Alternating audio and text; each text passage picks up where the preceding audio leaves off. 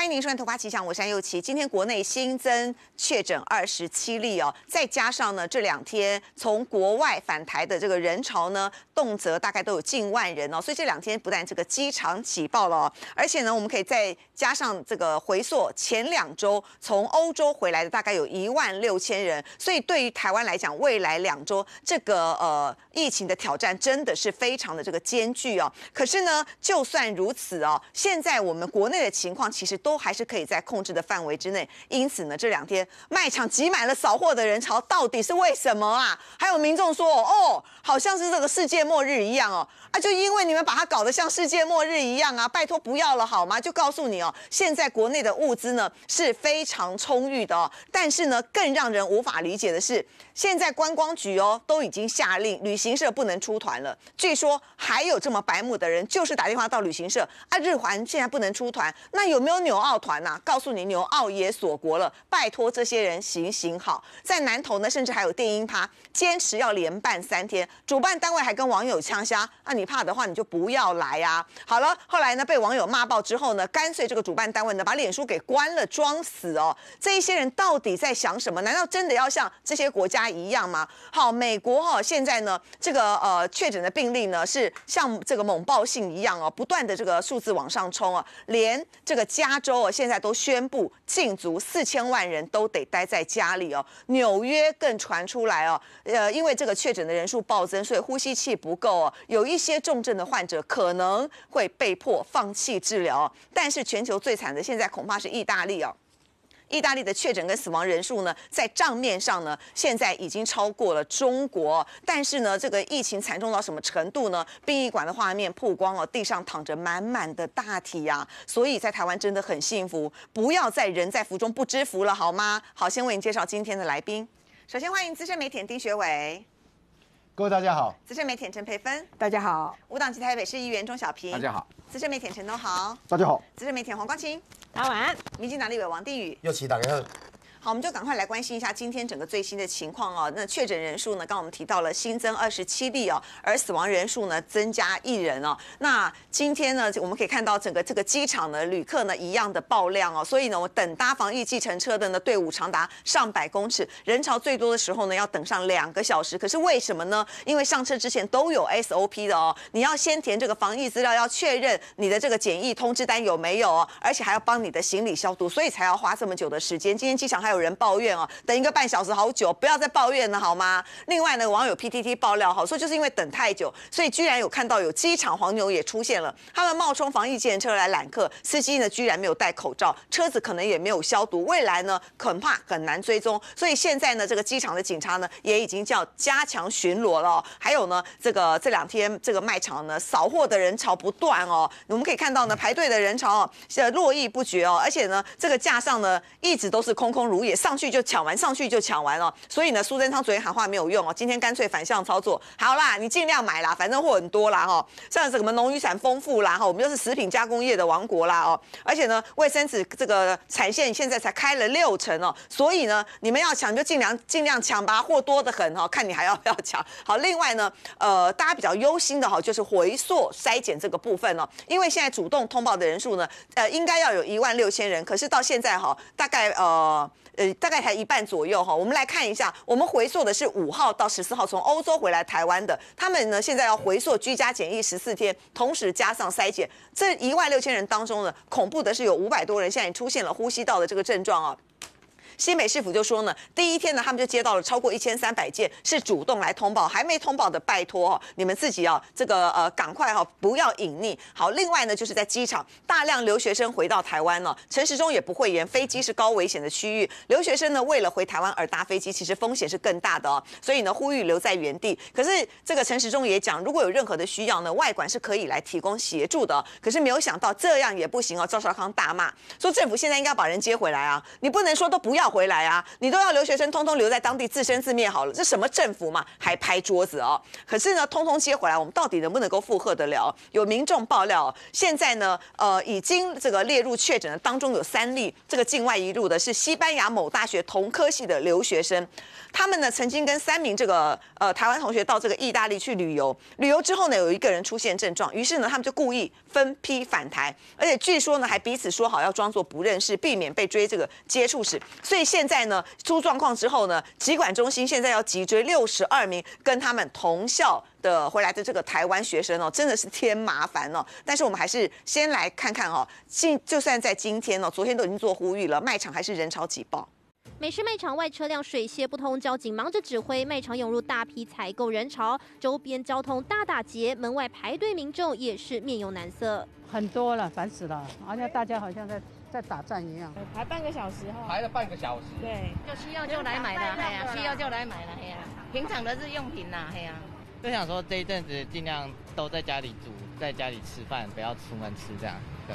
一早桃园机场可是挤满入境民众，口罩绝对是标准配备。不过也有人担心，防护衣、护目镜、手套，全身上下包的是密不透风。还好，因为我里面穿短袖，就是比较闷而已。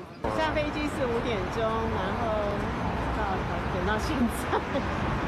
等多久啊？大概快一个小时。七点，哦，出来七点了，然后也差不多等了一个小时。好，请教一下这个学委了哈，如果这个爆料是真的哈，我们现在。大家对于回来的这一些这个呃台湾同胞，其实心里已经有点疑虑，因为机场挤爆了。现在呢，还冒出来说有三个人他们在西班牙读这个同科系，而且呢到意大利旅游之后呢，回来还隐匿，而且还要说彼此我们都不认识，那以免被追接触史。如果是真的，那真的是太可恶了哈。然后你看今天这个呃，我们新增了这个二十七例，可当中哈有这个八例是在机场被拦截下来的，但其他的有的是居家检疫，有的是居家隔离。那你怎么看今天新？增这个状况，哎，这两天是假日，不要又去扫货了。不是，我就讲说哈，这个台湾这个这个武汉肺炎病毒这个案子哈，嗯，这张图我看再过几天就摆不下了啦。我我讲实在话，这不是在唱衰了，这是事实啊。那为什么会这样？突然间这几天暴增啊？哎，今天增二十七例耶，总共到了一百三十五哎。对，之前大家不是在庆幸说台湾防疫守得很好吗？我说实在，其实我们的防疫很多事情之前一直讲超前部署，超前部署。超前部署是在物资上，在医疗准备上是超前部署，可是对于这种封禁的这种事情的话，我发现政府是有点慢的。可是哦，我说实在，虽然是一百三十五例，我们也不用担心害怕太多啊。哎，至少我们还有可以准备好嘛。像这昨天九千多人，今天八千多人回台湾，对不对？对。那回来台湾的时候，哎，现在政府都有追踪，都有那个嘛。对。好，那你你看有八个八个人是直接在机场就被就被逮到了。对。那其他有四名是居家。检疫的五名是居家隔离的，那九个人是自行就医的。不过你把这整个问题把它看起来之后，我们也不要去拘泥，不要现在不用再拘泥在这个数字上。这个数字太多，我公警讲我看高嘛会傻傻，啊观众嘛看高不傻傻。不是因为现在哈，我整理几点重点呐。我你讲我这人哈，看起来台湾为什么会突然间暴增到一百三十五例哈？哎，其中很多人叫做要求过的，你知不知道？嗯哼。你看，我们入境的话，从三月六号到三月十八号，对，这些人是最多的嘛，就是旅游史，就是之前二二八年假啦，或者三月初的那个年假出去的时候，大家不是讲说这段时间有一万多人进来嘛？因为我们那时候没有提高旅游警示，所以一再强调说，政府很多动作现在要开始，要严管严控，嗯，不能够再放松了。说实在，你看三月十六到十月十八，到三月十八这一段时间的话，发病的时候，很多人发病是怎样？从三月五号到三月十八。哎，你三月十六入境的话，你三月十五之前就发病了呢。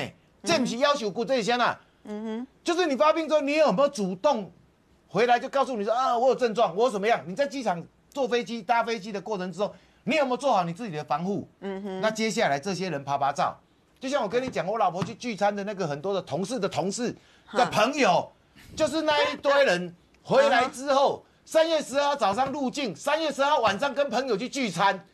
一点危机意识都没有，真的，真的是害死人了。我就跟你说，现在下来之后，很多案例里面呢，这个还刚才我说的那很多一百三十五例很多的话是这样，爸爸传给儿子，儿子传给家里面的人呢，嗯哼，哎呀，接下来传给亲朋好友的呢，嗯哼，那为什么会这样？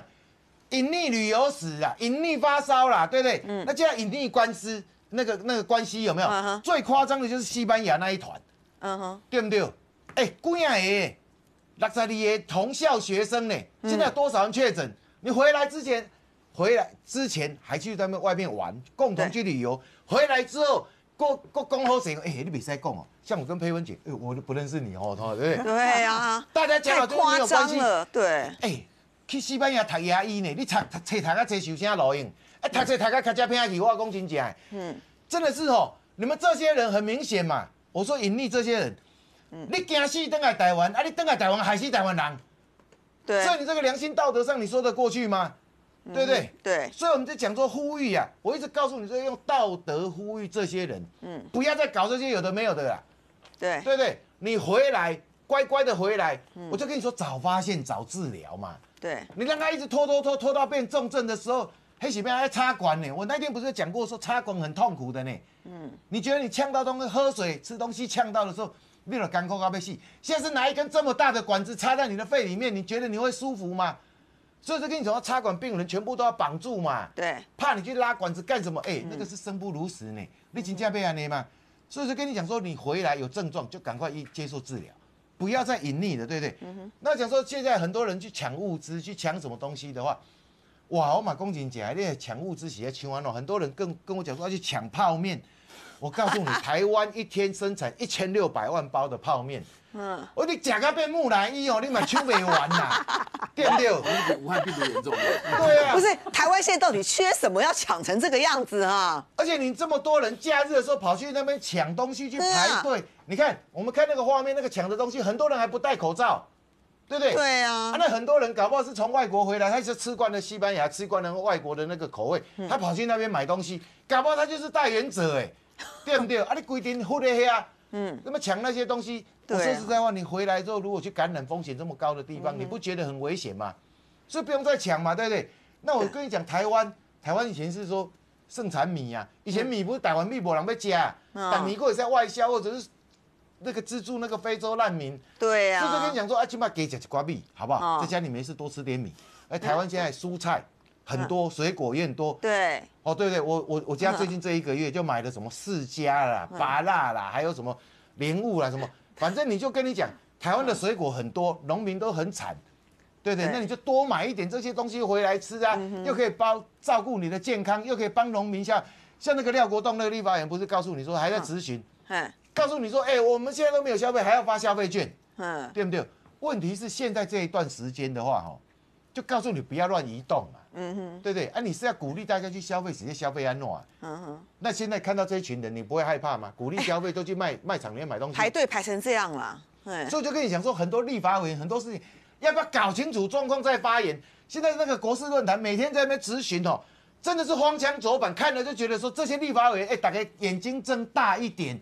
你的选区选出来的立法委员，如果再胡说八道的话，干脆就把他罢掉，罢不掉的话，下次就不要选他了啦，嗯哼，对不对？对哦，你讲话的内容比那个国小学生还不如啊！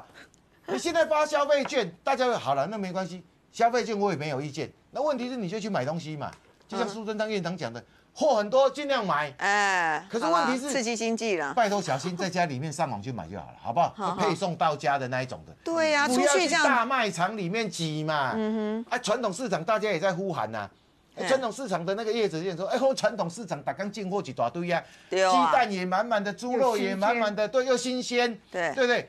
我还这不是还是温体猪呢，还不是什么冷藏冷冻猪啊？你我赶不赶快去买？对不对？而且分散，拜托一下哈，黄昏市场的、早市的哈，分开去买，不要聚在一群人，人太多就回家休息。反正现在就是人太多的地方聚起来，而且我就跟你讲，现在公园有很多地方，很多那个爬山的人，嗯，对对，那个地方人不不多哈，那赶快去，好、不要再在在那个市区里面跟一堆人挤在一起。我再强调一点，最近这种事情最大的，我们现在抗议的工作，在这两个礼拜是危险期哈，是高峰期。对。因为回来的人太多，筛检的人太少，呃很多人都不老实嘛，不主动去去去去跟那个跟那个防疫中心联系嘛，对不对？不主动去去检疫嘛。对，所以这些人变成台湾的不定时炸弹，那怎么办？那你至少把自己顾好。好、对。那我就讲说，哦，像包括什么很多地区的，我昨天有讲过说那个什么新北市还有大大公绕境的哈，嗯。台中今天又有朋友跟我讲说还有什么妈祖绕境的哈，嗯。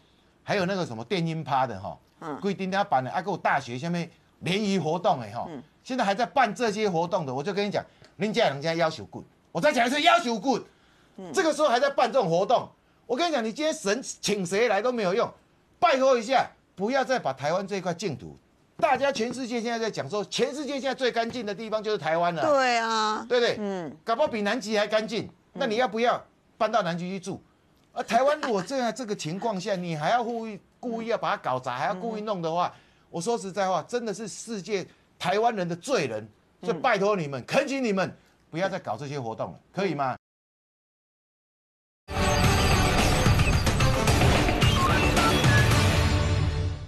果这样这个情况下，你还要故意故意要把它搞砸，还要故意弄的话，我说实在话，真的是世界台湾人的罪人，所以拜托你们，恳请你们不要再搞这些活动了，可以吗？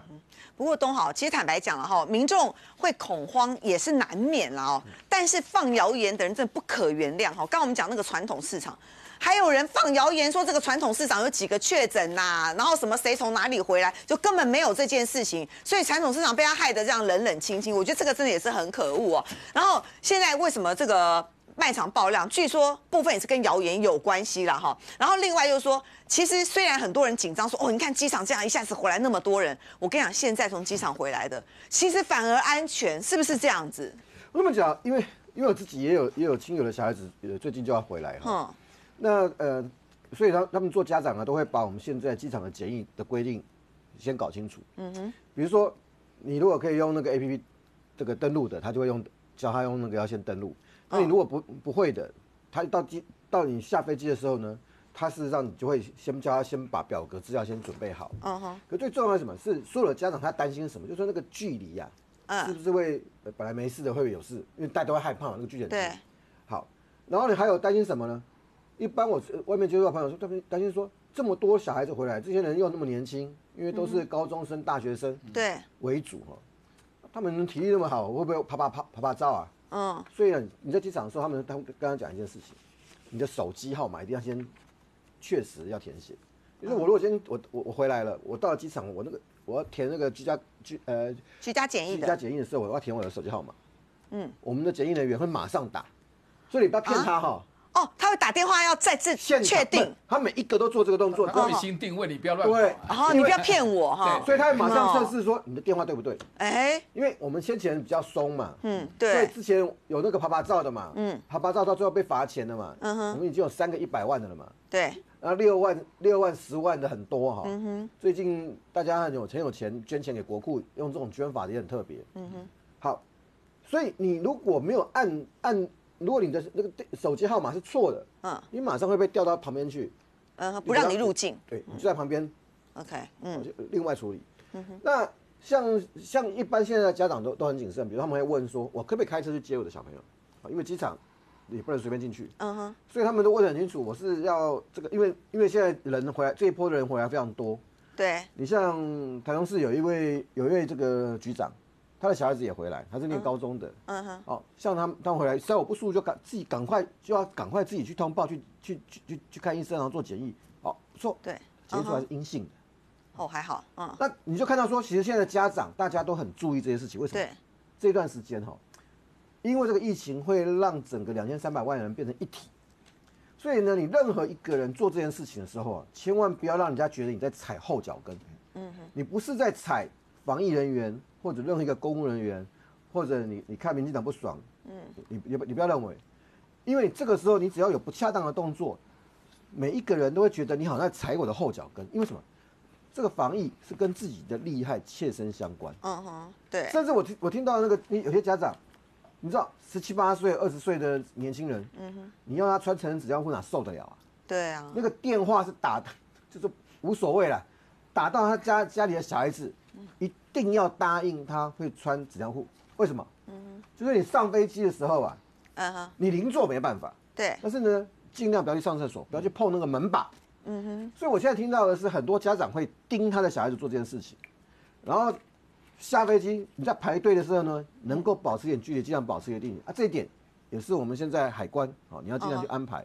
对，不要让那个人挤人，不要提前身，不要不要变成那种前前胸贴后背的，嗯嗯，啊，那个也是会增加风险，所以有秩序，你就会让速度变快。嗯哼，所以你看这几天那个机场通关的那个那个程序哈，嗯。从本来四个小时，现在好像三个小时，还会再往下降。就是你越有秩序，嗯哼，会一定会等，包括你你你你出你你出你顺利出境之后，你要搭那个防疫计程车，都会要等。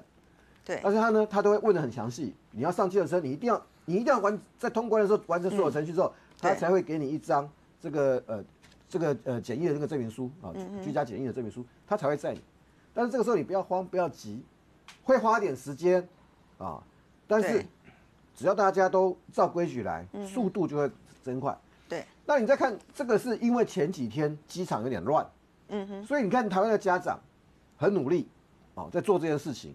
那现在交通部他们也尽量在改善啊，跟移民署也在改善这个流程。不过问一下这个呃小平啦哈。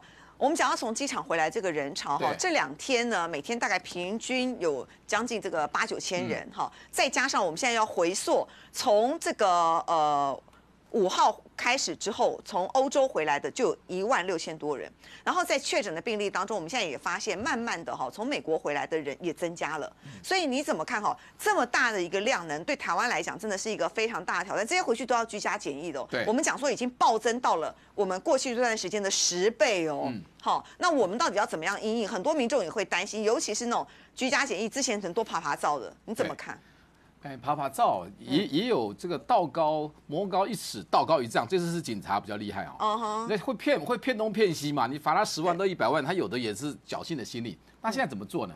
就是你去哦，他就刚刚东航讲就查你手机号码，就打对会不会通。那有些很坏啊，我哦没手机，你怎么样哦的？政府就塞个手机，警察塞个手机给他，哦，说防疫手机有准备了，十四天以后再还给政府但他们都现在有经验了，嗯而且而且他们警察做雕虫这个事，小技对，他哎找他们，因为都会找里长，里长跟那个里都有地缘关系。哦那哪个好东西，哪个坏东西，其实里长都知道。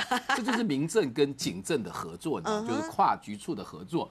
然后他们找谁，里长都会陪在身边。哦啊，这样等啊。然后呢，那里长有希望在你的节目上提出，他们提出一个请求啦，嗯就是里长去送这些。昨天我跟三个里长聊天嘛好，那那很好笑，一个说我有六个居家隔离号隔离的啊一个说我有九个，一个说有十二个，我一个比一个多哦。台北是蛮多的，其实因为双北都里长去送餐的里长送餐哦，可里长送餐他愿意送，可里长怕被感染。嗯哼，那里长被感染以后，那个调查起来，那个那个感染史啊，什么那个那个那个不得了，你知道那个社区感染那种那种传染那种是非常严重。嗯，那里长是不是建议有，可不可以叫健康中心去？那健康中心卫生局要开始要调动人力哦哦，送餐这个事，不这个都要，这就是通盘的检讨，就是防疫的好。这第一个，哦第二个呢，这几天我看都跑不掉。第一波中国大陆，再来欧盟，这欧盟再就美国了。美国现在也厉害起来，因为因为川普防疫的很差哈，所以每天几千个进来，所以最大的是边境管理，而不是本土的台嗯台湾哈。对，好啊，那防疫旅馆就非常重要。嗯，我跟你讲，第四家快开了。哦，那第四家有什么不一样哦？有几个特色跟前三家。那第四家就是让你没钱的哈，从三千六降到三千，最低的，嗯贵的哦从七千五到九千。呃，七千一个晚上七千五九千，哦，那三四千天三三千到九千钱呐？是这样子啊，是是这样。然后有平价的，也有高级的。三千到九千嘛哦，现在产品琳琅满目，现在房房现在房间那第四就第四家就是看前面三家有些就缺失，就把它嗯能够能够改一下。而且呢，这一次这一次这家是整栋，以前可以前面三家有分可以以前可以分层现在是整栋整栋。然后呢，绝对绝对不可以弄地毯。你你在问说为什么不能地毯？要大理石，因为地毯会藏病毒，事后洗不干净，哦会再传给下一个。哦所以装潢越少，绝严禁地毯。有地毯，我绝对不跟你签约合作。哦就这个防疫啊。哎呃那那前面三家都很保密，有一些很有趣的小故事。那第三家很有马家马维新呐，嗯马家哈，他那他们呢家里都反对哦。那马维新就坚持说我要做第三家的防疫旅馆，而且他那家那他那家叫汉玉，就在市议会旁边哈嗯嗯。他而且他公开我在哪里。有些人是怕死啦，嗯我要赚这个钱，可是低调一点哈。对，他全家都反对，结果他说主要我开第三家，元大是不是？元大元元大大嘛。马维新嗯马维，新他是基督徒，而且住园那边很幸福，他还每天帮你祷告。哦，他是基督徒了，希望你顺顺利利。这是佛心来的。实施对，那这一家、两家、三家有些什么小故来的有有什么人呢？第一个叫做台商，嗯，那最近比较多的是留学生啊，留学生。那也有高级的白领，就是商务的旅旅旅客进来啊。那进来的时候也有一些名人呢。当然，我就问什么名人哦？我们观察局不跟我讲啊，那我们也不能随便在电视上讲哈。然后名人去的时候，那就那那个就会装的不认识他，就 check in 的那个那个那个人就故意，因为隐私权，大家心里都揪在一起，就是防疫，你知道那种心情很难去形容。对。然后然后他们 check in 后不给你卡，为什么？嗯。因为十四天以后你出你你完了以后，就大家就就说再见。那那这来来进来的时候都很乖，那些小留学生进来以后，那好第十四天哦，他们就会尖叫，疯狂，因为出关啊。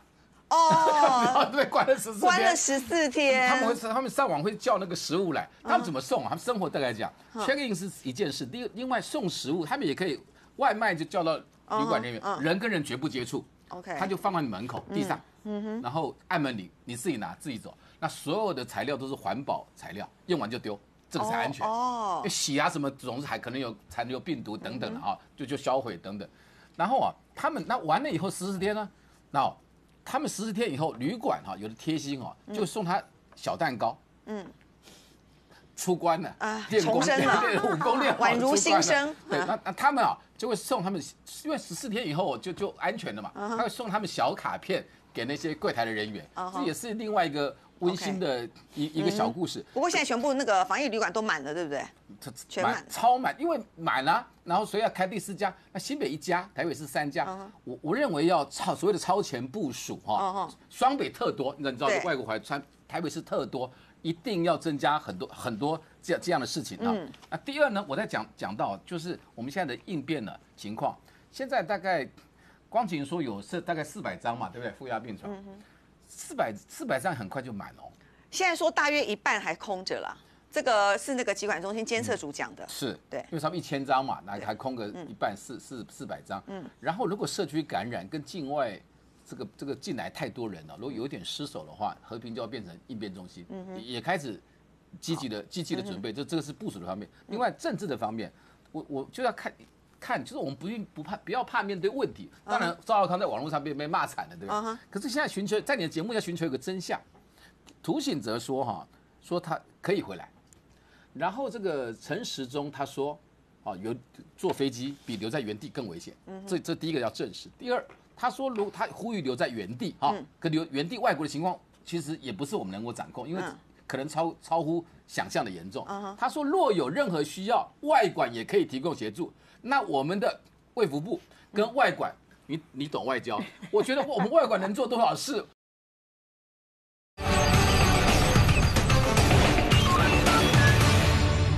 他说，如他呼吁留在原地，哈，可留原地外国的情况，其实也不是我们能够掌控，因为可能超超乎想象的严重。他说，若有任何需要，外管也可以提供协助。那我们的卫福部跟外管。你你懂外交？我觉得我们外管能做多少事？我们非就陈时中的招牌，哎，对，陈时中的招牌，难道他是总指挥？他可以指挥指指挥这个指挥外管？然后外管有几个人？嗯，提供什么样协助？要具体一点。那到底是外管如果提供不了协助的话，他该不该回来？这是非常严肃的。我觉得没有一定的对或错，大家。然后赵少康这样讲，虽然被骂，可他也是希望人回来。当然，赵老康可能不了解我们的负压病床剩几个，我们超前部署能力怎样，我们负荷量、负荷总量要讲出来，这是很严肃的一个问题。所以，我们不可能放我们的留学生八九万人都在外国，那个感染起来那是都是我们的子民。所以，这这个才是真正的因，因为名嘴讲话不用跟议员一样，不用解决问题，行政单位执政你要解决问题，我们提出问题啊，那赵老康提出问题，到底对或错？可可受公平，那真正的如果照陈时中讲的话，那都留在外比坐飞机危险啊，飞机最危险，外国还比较不危险，我也不见得一定相信。你看他待的状况，对，是很复杂，很复杂。不过问一下这个光晴了哈，怎么看这个赵浩康的这个说法？政府应该把人接回来哈，你把留学生留在当地自生自灭，这是什么政府嘛？哦，可是呢，陈时中认为搭飞机风险更大，现在证明搭飞机风险更大啊！你看今天确诊了二十七例，好，那。当然，其实两个是不是说的，呃，其实都有它部分的这个道理了哈。那赵少康的这个部分，问题是你现在拍桌大骂说什么政府？那你那么厉害，你来，而且如果赵小平讲的，你连现在负压病床多少你都不知道，那你你不知道，你凭什么骂人家呢？呃，其实哦，我前几天播一个文，好，就提到说交换生就一学期有三万多人，嗯，然后加上留学生，庄瑞雄问教育部，明确指出是七万多一点人，对，那时候就已经预告了陈时中他将面临一场非常严峻的，而且非常两难的一个处理方式，好，那。当时候，陈时中在面临什么样的一个难题呢？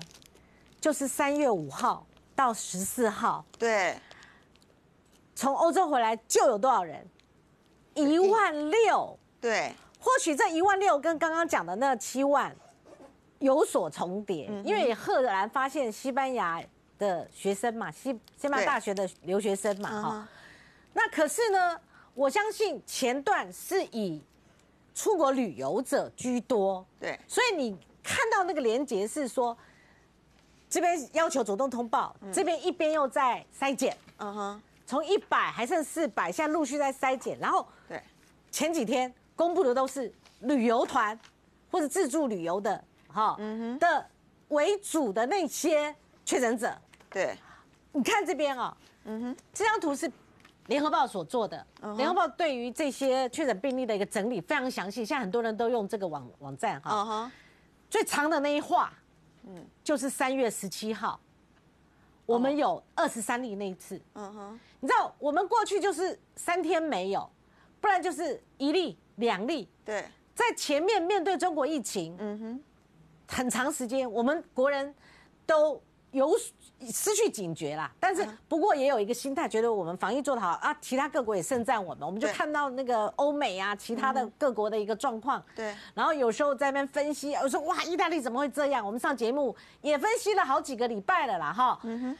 那可是嘣一下，你看这一画画出去，从六八十，好二十三八到今天的二十七，嗯哼，这个局面其实。很令防疫人员挫折哎，哦吼！但是他们也疲于奔命，然后已经到达一个难以负荷的状况。你看，嗯，我这边有几张图给大家看哈。这是台北市立联合医院，对，那个医生，医师他先剖的哈。但你再看，你看他这个戴口罩、戴 N 九五口罩的痕迹，这个画面其实大家不陌生。对。但你看中央社的这个照片，那个是他们兵荒马乱，痛哦，就像打过一场战役一样。对。你不要想他们回家见小孩、见老婆了，直接找到椅子，衣服都没脱就瘫在那边了。嗯哼，这个你看到这个照片，你会很有感受的。对，好，那前面一一一点六万的的这些从欧洲回来回来的还没应付完，这边人潮整个翻滚进来，八千多、九千多，然后又八千多。这样就几万呢，对，这样两三万了。嗯哼，那在这么几天内、三天内，甚至我们讲说快快要假日五天内，嗯哼，一个防疫团队他面临这么多、这么庞大的筛检都筛检不了的，对，这样的一个庞大的一个人流，而你会碰到那个独团，嗯哼，什么独团？就土耳其那个团。哦，哎，他确诊率几乎百分百了，对，就差那么一个，十五个中十四个。最早我在上节目的时候，我我有尽量去看，好，到底是不是他们这有有一些过错？嗯哼，就我发现说，他们去之前，土耳其还没破蛋，好，就是没有首例的病例。嗯哼，他们是后来在几天之后，三月十一号，这个土耳其才公布。嗯哼，可是后来我看就说，他们也不能够。理直就气壮，为什么？嗯哼，因为他们在旅途过程当中，瞬间，整个土耳其的那个疫情整个扭转，对，整个翻转。那你们其中四个人是被拦截下来的，在机场拦截下来的。哦吼，那你们这么多人，你们没有症状，你们当然有症状，否则怎么拦截你们下来呢？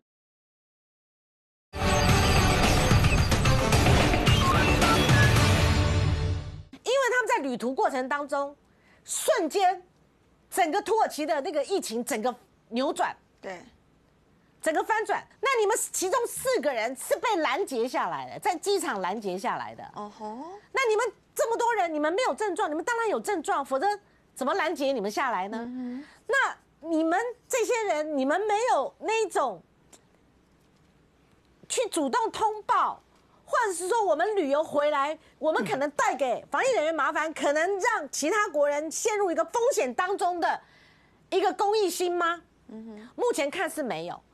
最扯的就是西班牙团，嗯哼，哦，西班牙大学的那个那个学生，他们是哈彼此说我们扬称我们不认识，嗯，可现在有三例了，对，三例，他们总共是六个人不回国。嗯哼，他不回台湾哎，对，他中间绕到哪一国去？我跟你讲，非常要命的，非常恐怖。他绕到意大利去。对，那我看当时候的意大利状况，你知道，已经我以三月十二号他们觉得不对劲了，嗯哼，开始往回奔了，往台湾奔的时候，三月十二号已经有统计数据，因为每天在公布嘛，对，那个时候已经说意大利的死亡人数已经翻倍了，而且超过。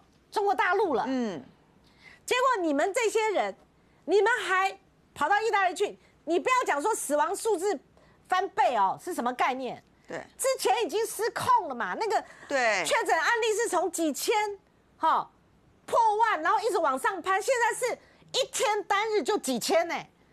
那你们这些小孩子，你们还跑到不回来，跑到意大利，结果你们不是学留学生，你们就是旅游团，嗯哼。你们就是旅游团，对。结果进来以后大摇大摆了，一个先去，在后面一个也不对劲再去，这些人就是我们担心的。对。进来完全没有任何的这个隔离、隔离检疫，完全就爬爬照，对。然后自己不对劲才去，那这就是旺旺中实或其他轻中的媒体或媒体人，他们常。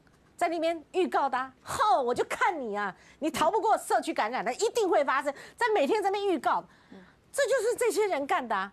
好，你说限制的晚，好，我我说实在，如果谈到早晚的时机，我认为封锁，封锁，你现在一样是外国人不能进来，但是我们面对的人潮是我们自己人呐。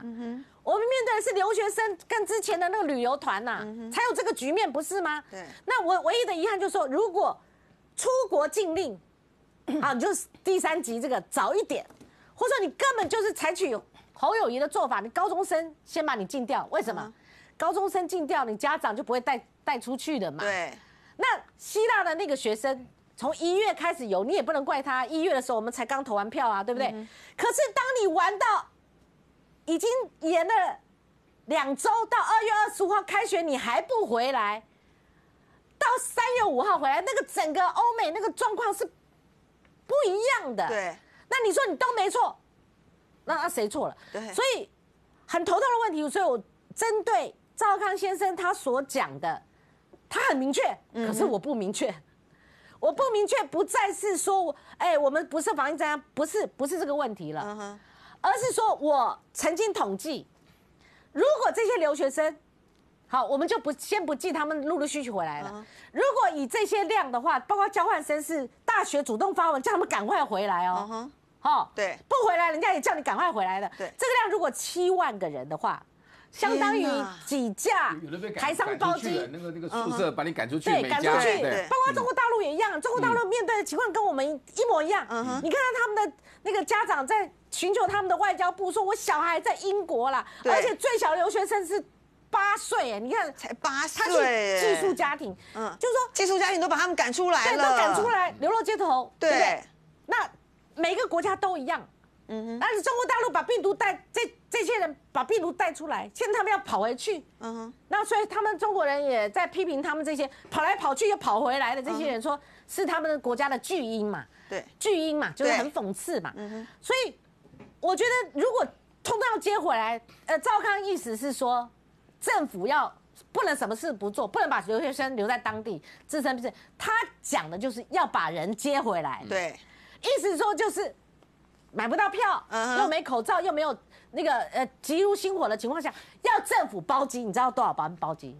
如果多好的国家啊一架两百嗯两百人好，因为要做对宽一点嘛，要三百五十架包机哇，三百五十架包机啊！好，嗯我们减半好也要一百五十架包机。嗯，那你接货接没有问题啊？发现像航空公司很多。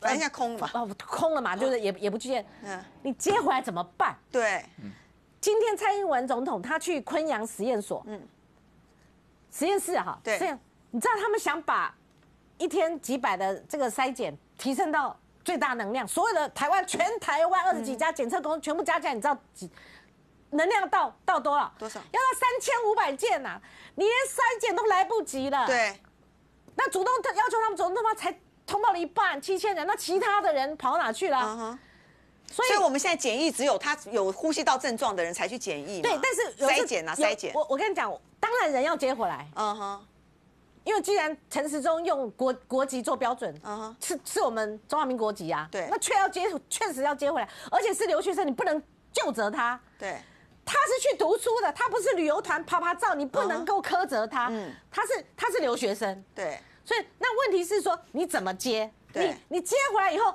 你是负压病床剩四百床，嗯哼，你筛检都来不及的情况下，就是政府最早讲的，你医疗资源够不够啊？对，那以这种状况，以前是里里面第一架包机，中国大陆的所谓的一一个确诊病例进来，我们都哇哇叫。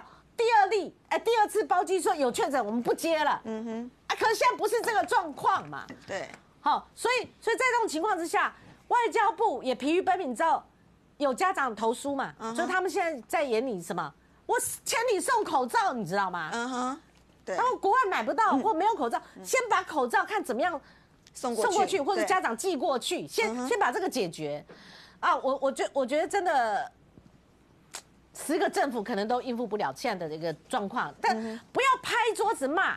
对，像有一个呃医生，就是常上节目一个医生，他就说，事情不是你拍桌子就可以解决的，对，嗯哼，对不对？对事情也不是你拍桌子就你说的就对，对对，嗯，来问一下这个佩芬姐了哈，你怎么看？就说呃，赵浩康说应该把这个留学生通通接回来哈。不然你什么政府嘛，居然让他们在那边自生自灭？我们其实没有让他自生自灭了哈，只是说坐飞机危不危险？真的危险，那你们就好好的考虑。可是，在国外的处境确实也不是我们能够想象得到，比方你说美加啦，那英国都把你赶出来的那种情况，其实我们在国内要担心的哦。你现在从机场回来的反而最安全，为什么？因为我马上给你做最严格的什么居家检疫跟调查嘛。可是问题就是五号到十四号回来，为什么我们要回溯去找欧洲的这一批？因为当时旅游局是没有提升，所以他们回到国内之后呢，确实是爬爬照，所以这些人我们才要回溯，让你从你你回来这个重新居家检疫十四天。可是呢，这个很可能就会沉入热洞，而且欧洲就一万六千人，不要忘了五号到十四号，我们还没有算美国回来的人哦。所以你怎么看我们未来这个危机，包括我们检疫的能量，现在一天最大量顶多三千多，所以你怎么看这个状况？三千多是希望啦，呃在未来现在没有到那个能耐嗯。我我想我跟那个学委很早就有讲过，这个三月五号到十四号这回来一万六千，还记不记得那个时候？我记得跟我们同台的一些医生有说过，就是说，呃，陈时中现在做的 非常好，但是他是围堵，嗯哼，但是他应该同时做到就是灭灾。对，就是把问题解决，呃，把这些灾难找出来。嗯这这一万六千人真正的问题，我觉得是这些人啊，就是说他回来以后，我们没有没有注意到他他就全台湾到处拍拍照啊。对，然后他到底有没有带源？现在说有五百个不舒服的，但他已经全台湾走遍遍，所以他到底有没有问题？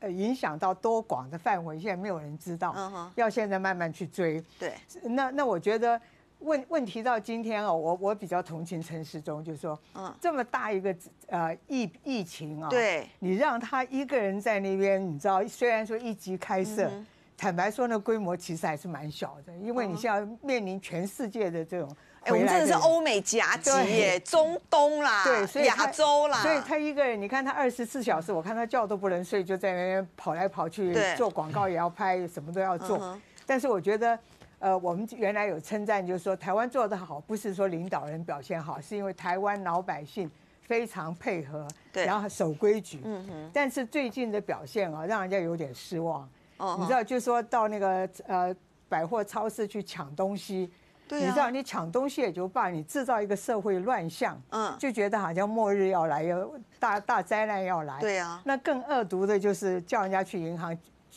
把钱全部领出来，哪招？东坏透了。东豪比较善良，他是说啊，你把钱存拿回来存在家里面，是不是招小偷什么之类？安全吗？想一下看看，如果这些人是大户的话，他去银行挤兑，会造成什么问题？对啊，整个银行垮掉，那个社会就乱掉了。嗯我觉得那个居心不良到极点，但是问题为什么有这些人会讲出这种话？我觉得他们去追。追追根源是对的，嗯哼，尤其叫人家到银行去提钱提光光，对，我觉得这个是真的很毒。嗯哼你再想想看，银行有一个银行发生问题，大家去挤兑的时候，我们要把钞票堆在那边，给人家讲说我有钱，不用烦恼。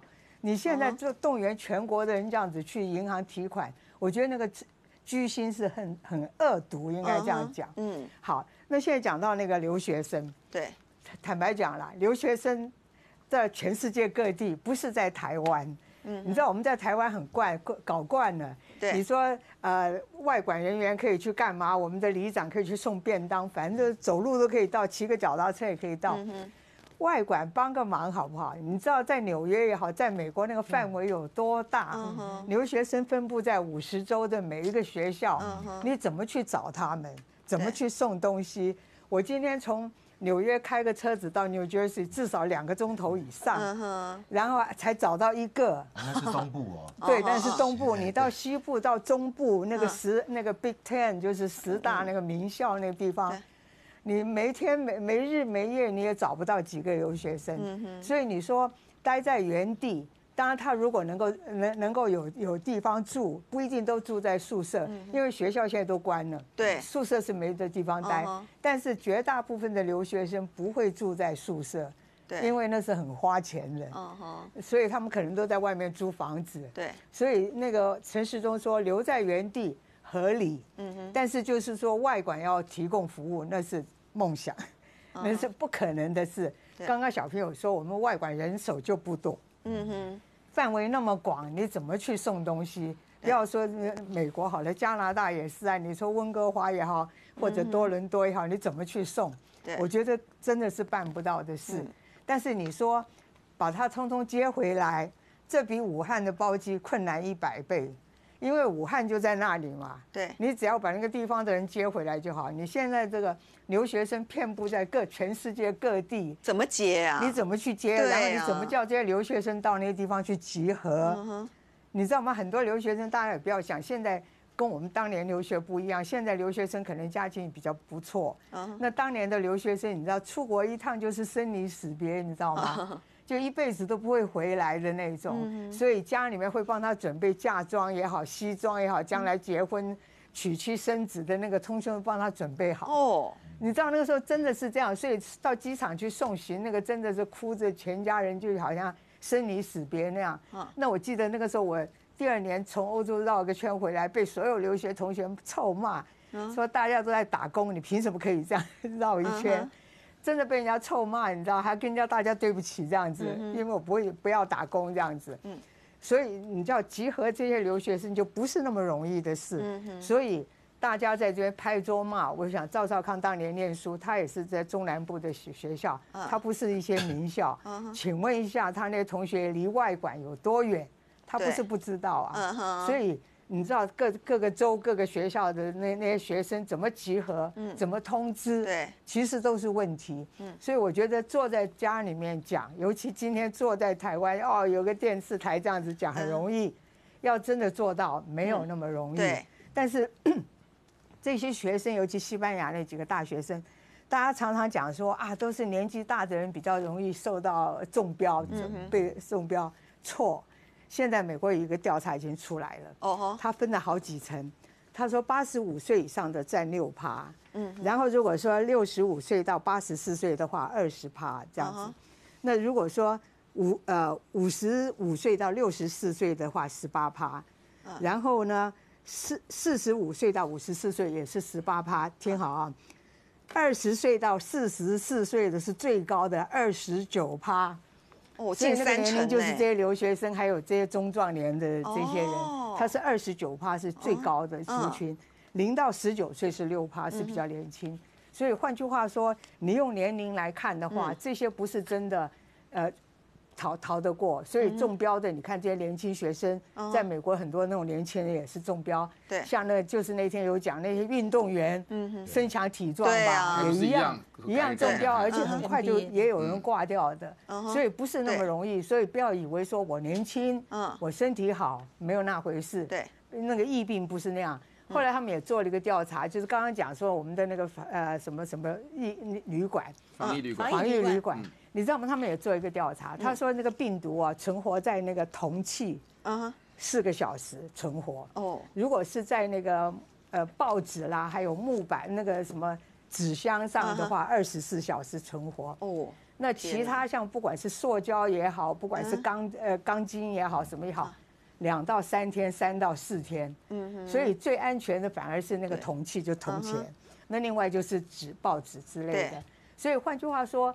要防疫的话，真的要很小心。你今天跑到大卖场去抢，对，你推那个推车就有问题嘛。不要说口罩的问题，对呀，那个 你以为只有人挤人的问题哦？没错，你那个推车刚前面那个人才推过呢那个就是存活到三到四天，对，有任何细菌的话就可以存活。所以大家真的不要那么掉以轻心。我觉得。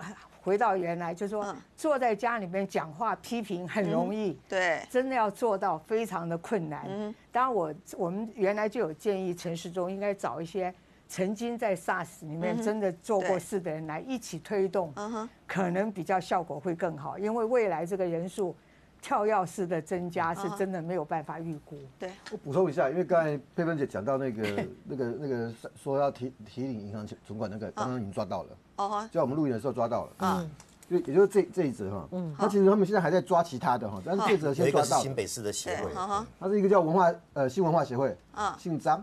然后呢，是他的表哥说，呃，跟调查局讲说，他是从这个呃国外的网站。记住哦，听到国外的网站。转抛的了，把它翻译过来转抛，觉得很可恶啊，那个真的可恶。尤其是这个是银行法哈，嗯，所以马上就又又出歹机哈。所以跟跟各位朋友讲，提醒一下，嗯，你看到这种事情哦，千万不要去转播卖给搞。对，你这个时候转播这些东西，你只会让你自己嗯。的亲戚朋友丢脸，你只会让自己吃官司找麻烦，你只会让你。在这个社会生存上面，在外你你未来这个交友状况下，大家会看你会觉得你很奇怪。不要给自己找麻烦，已经被抓到了。那个刑期跟他讲一下，光特别条例他就是关三年，是三年起跳。金融法这个还不银行法，对银行法这两罪可以并出来够用就可以，你怎么叫人家去？他的国外网站是中国还是哪里？他还要再讲清楚一点。嗯哼。不过除了这些人来乱之外，刚刚我们也特别提到了哈，从这个境外回来的哈，有三例西班牙大学同科系的这个留学生，他们还跟另外三名台湾同学到意大利去旅游，回来之后分批返台哦，然后呢还要说好哦，在我我们这个彼此。都说我们不认识对方哦，免得被追这个接触史哦。除了这个让人生气之外，我们来看看在国内的部分呢。这些人在这个时候千千万不要来乱了。韩国瑜啊，韩国瑜本来呢还坚持哦，高雄电竞嘉年华要如期举办哦。昨天宣布好决议延后了。那昨天宣布决议要说啊，我们是为了这个呃要做防疫。才怪！那是因为已经封了边境了，国际的选手根本不能来哈。本来还坚持要如期举办的哈，脑袋到底在想什么？更夸张的是，南投知名电音趴还要坚持连办三天，一场呢大约三百五十个人哦。防疫措施，他们说我们够啦，所以我们不会延期哦。网友生气了，现在疫情这么严重，你们不能为台湾想一想吗？就主办单位怎么说？啊，你写信给政府，让我们有依据啊。然后就另外一个网友说。不是户外活动不会感染的，骂祖绕境也是户外活动，人家都停了。主办单位说我们又没有勉强任何人参加？啊，如果你怕，你觉得有健康安全余力，你待在家里，你不要来啊。好，然后后来呢，网友继续骂，网友跟这个乐迷就留言哈，警告。结果后来你知道他在脸书上痛骂这些网友跟乐迷，你们是散布不实留言哈。后来主办单位哦，甚至呢还把这个留言删了之后呢，粉丝专业。关了装死，哈，你说气不气死人？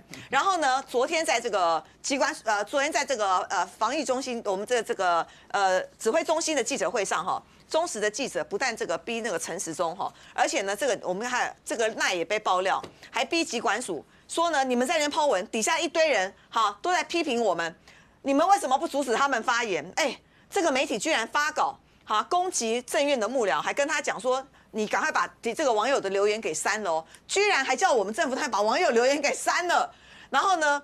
呃，你看哈，等一下我们再来讲讲国际是怎么讲说我们要顺时钟，连国际都说现在要顺时钟哈。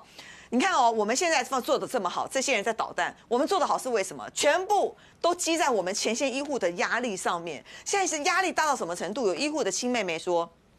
他的姐姐是这个护理人员，他担心家人的安危，他每天刻意跟家人保持距离，在自己的房间里用餐，跟我们聊天还得用视讯。有一次哦，上班发烧三十八度了，他自己急得要死，说怎么办？我单位的那些医疗人员会不会受我影响？我的家人怎么办？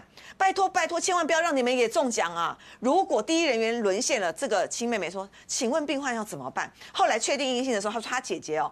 崩溃大哭哦哦，讲到这里我真的是想掉眼泪。然后旅行社的业者呢，你看哦，医护人员已经这样了，已经快濒临崩溃边缘了。旅行社业者讲说，现在哈政府说不是不能出团嘛，结果还有这样的人，阿北打电话，哎有没有日本团呐？啊日本团没有，那有没有韩国团啊？哦都不能去哦，那有没有纽西兰、澳洲啊？是想把他打死。好，另外他说现在疫情严峻的情况之下呢。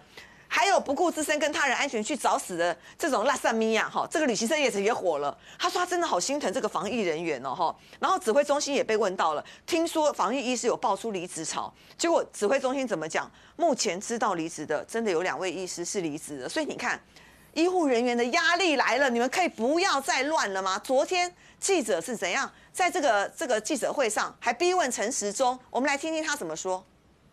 我们的一个底线就是说，假设台湾今天学校都停课了，因为疫情停课，我们就会停办。今天会到那个警察单位，还有我们卫生局会到现场去实地查访，甚至于要实实实名登记。拒绝做防疫的罪人，拒绝做防疫的罪人，捍卫健康。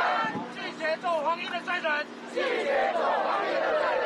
行政院副院长办公室李怀仁就是有被爆料用上班时间在呃记者会的那个呃直播上打击特定媒体带风向，那想要问一下部长，呃官员这样带头这样做的行为是否恰当？在行政院里面，我们指挥中心也不管这样的一个事情了哈。那我要特别在解释那天的情况，我相信我们记者在这个地方，好，我事后也看过我自己的录音带，我相信我并没有就是说。很很这样子哈，态度很激昂哈，特别要去打击谁？已经叫旅行团不能出去了，已经跟这个所有的旅行社都讲了，还有人还在问，想方设法的他就是要出国去玩，都这宽囊啊哈。然后电音趴还坚持要连办三天，今天有人要去抗议了哈，不知道最后结果怎么样。所以定宇你怎么看这些人？你拿他什么办法？电音趴这个部分，我会建议。这个我们的防疫的指挥中心移送法办，哈，移送法办。嗯，我为什么不讲叫他停办？你这个业者可恶到什么程度？人家都告诉你现在防疫很重要。对呀，啊，你也被搬，严清标的社会地位跟正南宫的妈祖绕境，那是多大的事情？是停了，哎，他不停是什么？如果政府逼他停，他下一步就要跟政府求偿嘛。哦，他想的是钱。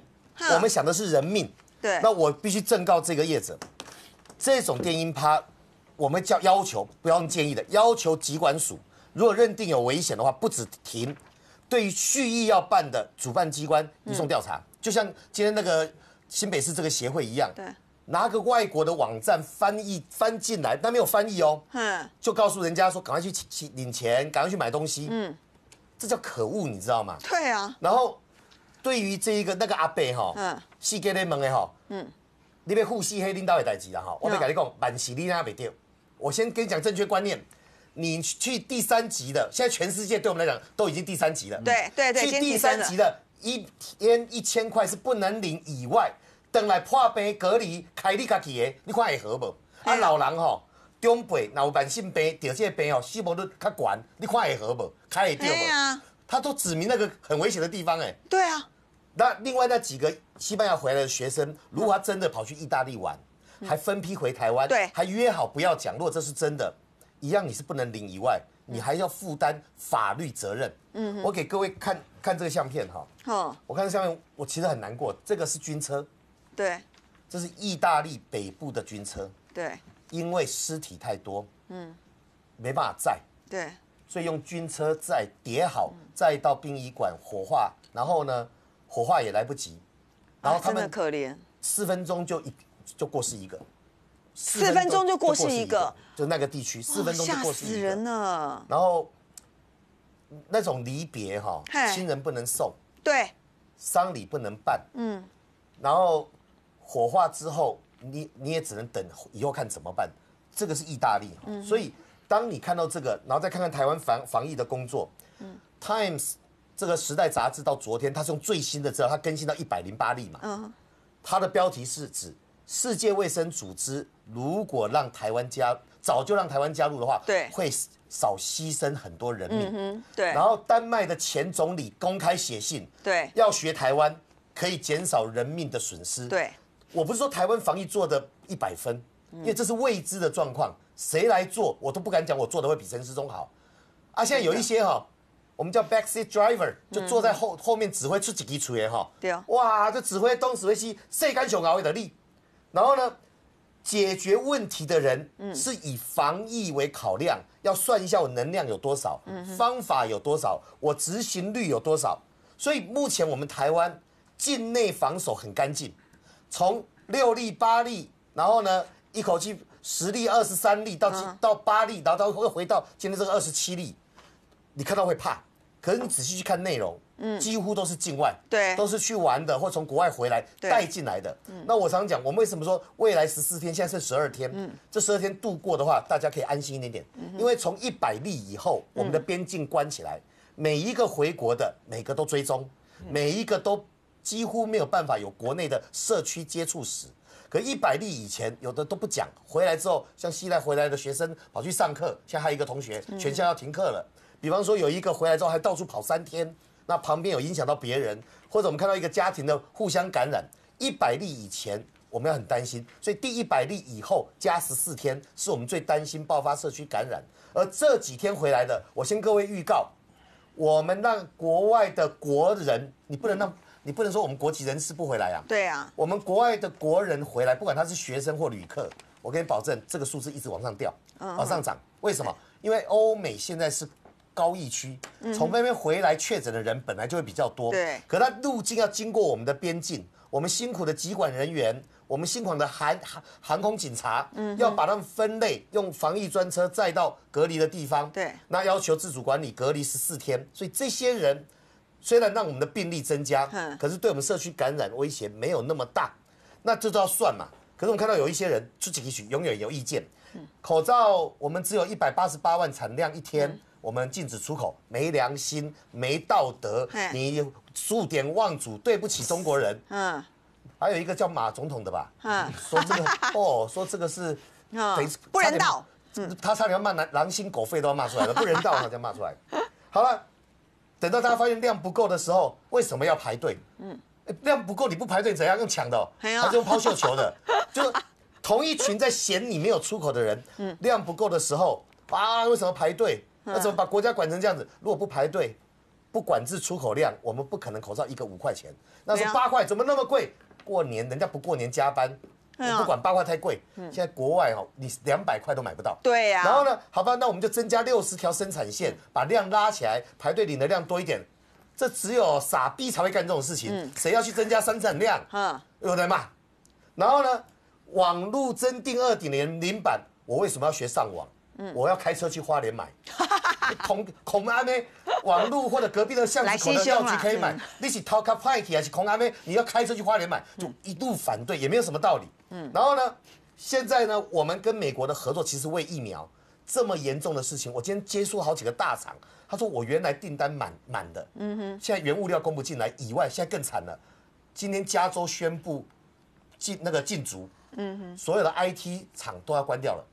欧洲百货公司都没有营业了，我生产地方没有通路，卖不出去。嗯哼，所有的大厂都面对这样的冲击，我们都要好好去应对这个。那现在他他在讲说，啊，那你为什么要看？为什么要跟美国合作？你是人家殖民地啊！一周十万片口罩占我们每周产能将近，我们现在产能一千万片。嗯哼，十万占里面多少？那我们去换三十万防护衣的原料，防护衣是下阶段很需要的，而且价值更高以外。还跟美国正式政府合作开发疫苗、开发快筛、交换物资，这怎么看都是为了台湾好。我不讲互互互惠哈，这种做法是台湾有没有得利？嗯哼，一旦疫苗开发出来，我们可以先用啊。嗯哼，人家都预估明年夏天德国要拼九月，我我知道的是我们台湾跟美国的合作，我们也在拼九月，那我们就可以容忍半年。我现在常讲一个口头禅，这半年不暴毙的，以后都变暴发户，就是我们的产业会爆爆炸发展。所以他也反对啊，说啊，你们这些人对不起中国人哦，你们为什么不送口罩去给中国？我为什么要送口罩给中国？他一天产能一亿片，我为什么要送给他？他不缺嘛？对啊。然后呢，我我他的他在防疫的时候还派军舰来骚扰我们，我为什么要跟他跟他换跟他合作？他也没要跟我们合作啊。对。所以你就看发现有一批在配合的人，嗯，最经典是旺中这个记者，当他讲说你这可能是造假的之后，隔天。中国那边五毛就丢出来一首饶舌歌，说台湾就是不检测数数字才不会动，哪有配合这么刚好的？一天就丢出来。等一下再给大家听一下。中国所有哎，那里面还有我的相片呢，我真的是 恭喜你啊！不要不要，这个无无喜可贺，跨点贵啊！但我现在就是说，这些动作你为什么让人家讨厌？就是大家很认真在防疫，国人也觉得做的还不错的时候，你这种导弹的作为又很配合那一边在弄。嗯，所以，我我们现在台湾面对的这一个波段哈，大家要心理准备。嗯，呃，检疫的数字，境外一路可能二十几个，每天回来九千个人会增加，因为他们来自疫区。嗯哼。可是现在这个都不用担心，他会挡着，不会有社区接触。嗯哼。那我们十四十二天后，原来那些有社区接触史的，能够恢复平静。那这些骗的人。应该要严你最严的法律来处罚他。嗯，比方说台南市有两个公务员科长，看什么？这时候不要去。对。他就要去土耳其耶。哎。他忘记土耳其十五分之十三，有个旅行团去十五个，十三个带病回来。先十四个了。变十四个。那几乎是百分百。快百分百了没？有这，然后呢还要去欧洲。嗯。那我我不晓得有一个是要去度蜜月的，你是觉得？老婆夫妻之间不重要还是怎么样？度蜜月就要把他带到那会得病的地方，我我搞不懂这个东西。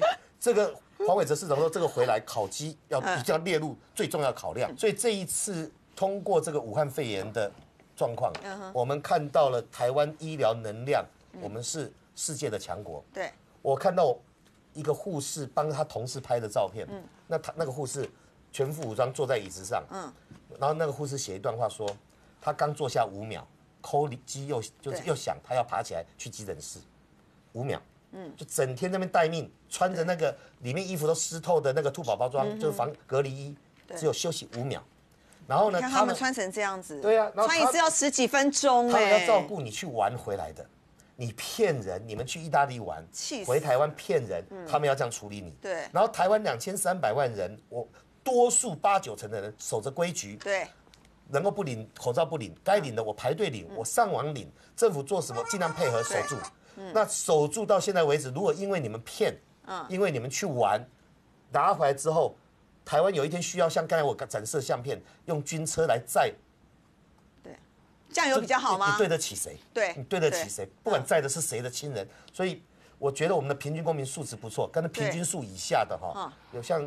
有的叫什么西的啦，有的叫什么康的哈。嗯，静下来想一想，还有什么鱼的有没有？对，什么有个什么鱼的？昨天以前还在讲什么电竞嘉年华还要继续办，坚持办呢哈。还好我们把边境封起来。你会发现他坚持到最后都是错的。对，嗨嗨，然后国际选手进不来，然后现在说哦，我为了防御我要延后了哈。啊，还有这种啊，电音趴要继续办的啦哈。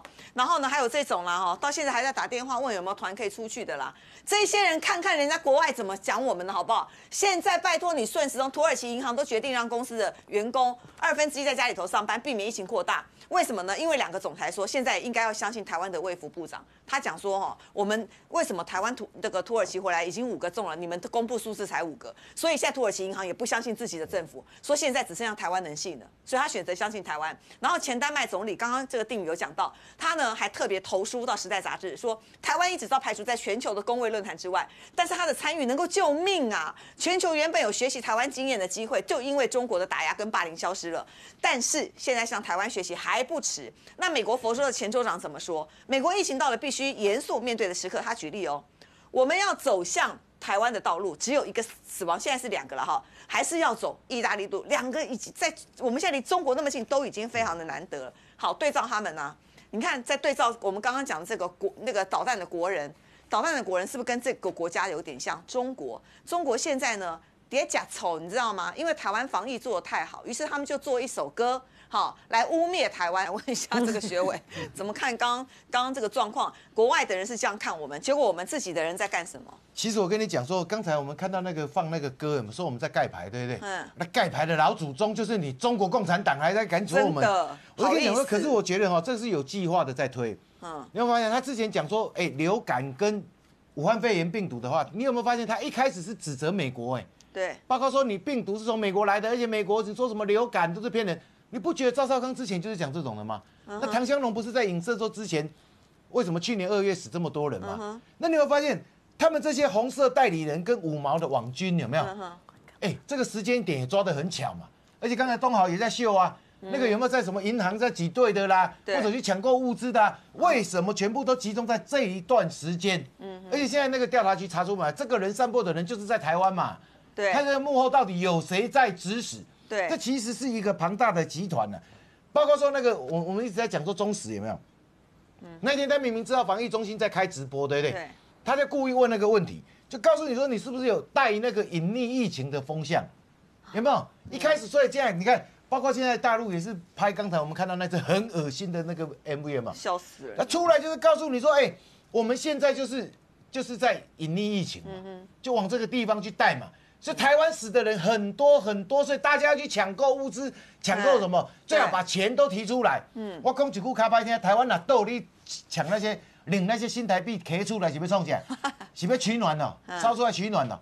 所以就跟你讲说，不要搞这个吼，很多事情你只要用你的智慧去稍稍思考一下就可以了。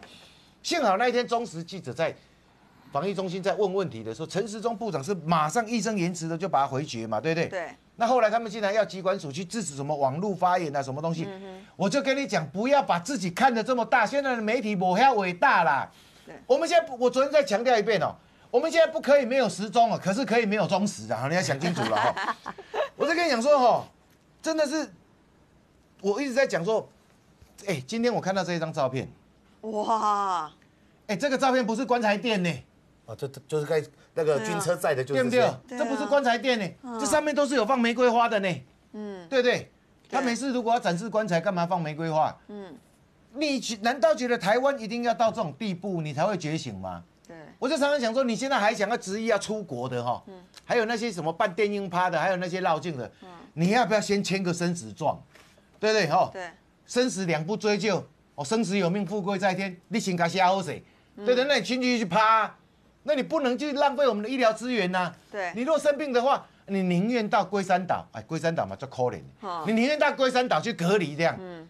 对不对？啊，生死有命，富贵在天嘛。你丢在那边，死了就算了。你要不要先签生死状再去跳嘛，再去趴嘛？嗯。你两个弟弟讲哦，你真正是松掉你，干口掉我呢。嗯。我就跟你讲说，你看，包括这个医护人员，就是外国的医护人员，他就在讲，不管是哪一国的医护人员，现在都是这种情况，对不对？对。他告诉你说。I stay at work，对对，我持续在工作是。那工作要干什么？For you 啊，都为了你。I stay work for you 了，为了你，我持续在工作岗位上坚持啊。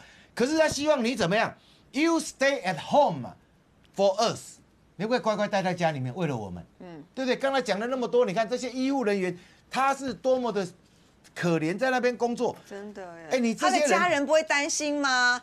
你人家也是人生父母养的好吗？对啊，你这人去外靠送完了，啊去医院，然后你就让这些医护人员忍心这样为了你吗？对。我就常常讲说，吼，我们现在一百三十五例，今天暴增二十七例的话，接下来我们可能会有更多的案例发生，哈。嗯。这个就是个大家是用一种曲线预测了，哈。嗯。